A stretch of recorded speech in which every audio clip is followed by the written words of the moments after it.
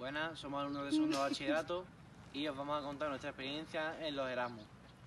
Eh, es una experiencia única que os animo a todos a que hagáis si tenéis la oportunidad, ya que os ayudará a conocer culturas de otros países, os ayudará a conocer lugares como por ejemplo ahí tenemos de Tralerna y os ayudará a tener amigos por otro resto de países, conocer a otros estudiantes. Aparte de eso, podemos conocer una diferente lengua y eh, aumentar nuestro, nuestro tiempo en las experiencias.